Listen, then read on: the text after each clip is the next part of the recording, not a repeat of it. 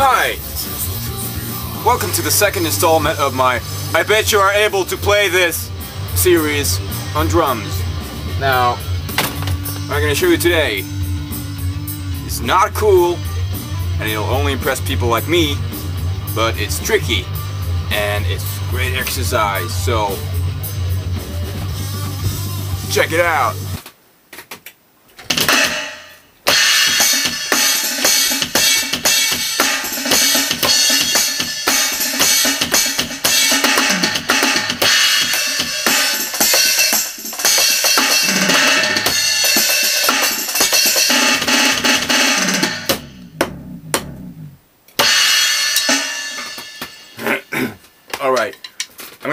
Little bit of talking now to explain what I'm doing and what I'm gonna do here today, right now.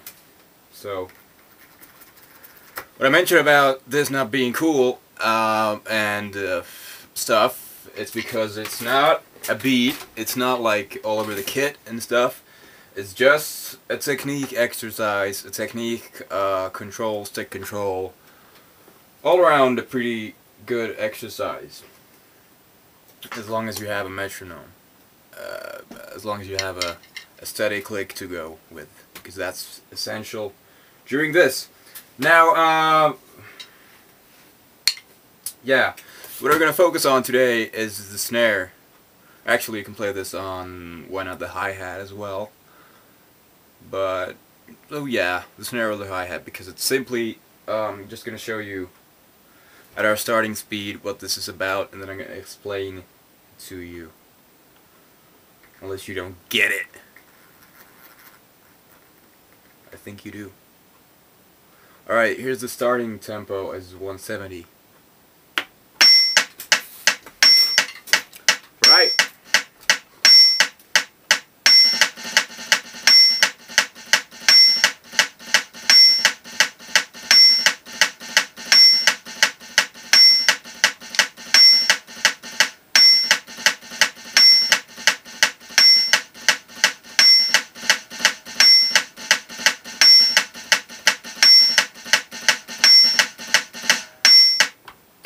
So that's it. The point of this exercise is to be able to combine three things uh, in playing, which is playing with high control, definite control, and uh, quietly and fast. Because you know, playing playing uh, slowly and quietly is not a problem. You know, you can go.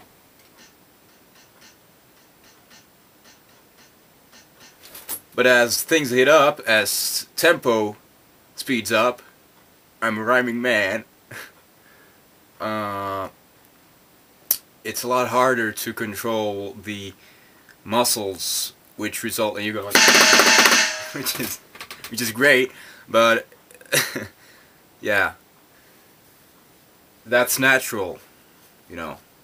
When you play fast, you want to play play loud as fuck at the same time. So you go.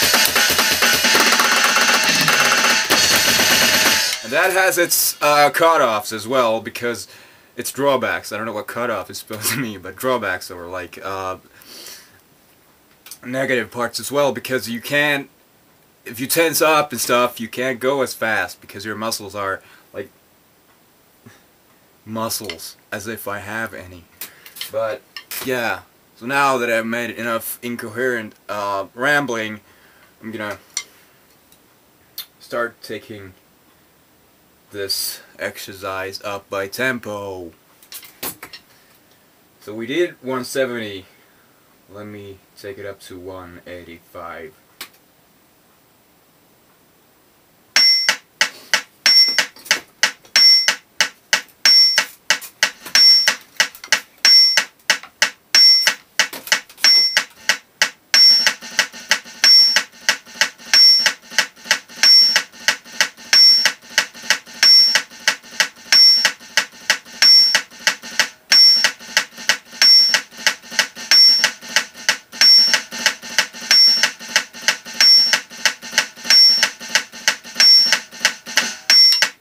So a word of caution right away uh, is that, you know, I repeat this exercise with uh, with both hands as the leading hand. I start off with my right hand, and then I do that, and then I switch to leading with my left hand. And uh, so yeah, a word of caution regarding what you're about to witness is that I my technique in my left hand is nowhere near as good as my right hand because I've never done any like uh, I never done any exercises at all really. I just started doing this like a month ago or so because I thought that you know hey and I really didn't even start doing it. I just did it like a couple of times. I was like hey this is cool. I should start I should start doing this but I didn't.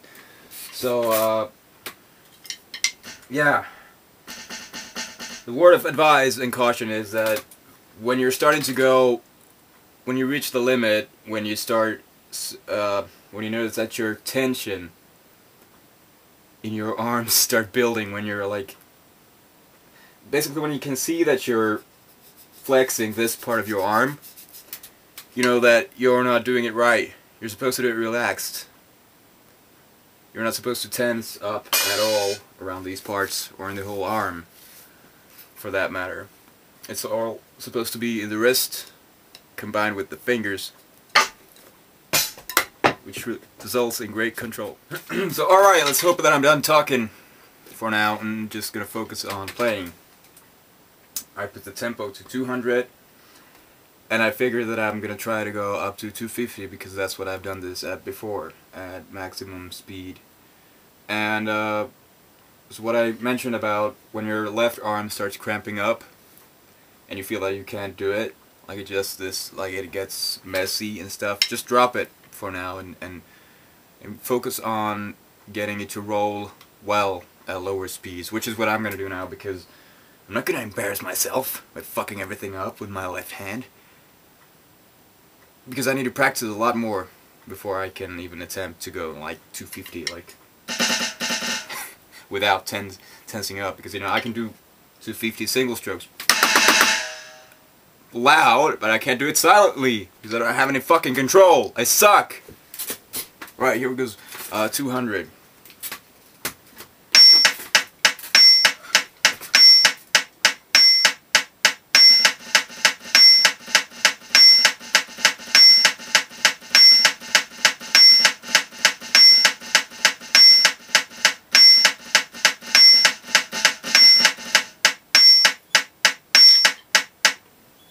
left hand.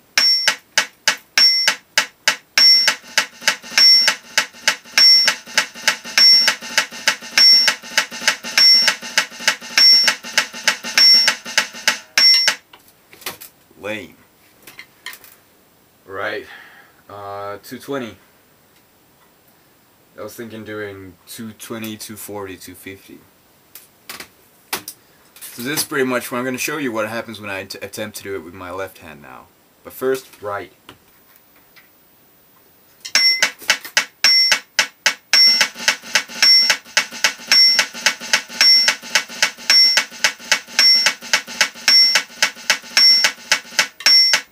Alright, what I'm going to do now with my left hand, or what's going to happen with my left hand now is I'm going to tell you before it happens because I'm a psychic. Um... As the tempo increases, so does my volume when I lead with my left hand. Because, as I mentioned 35 times by now, I get tense.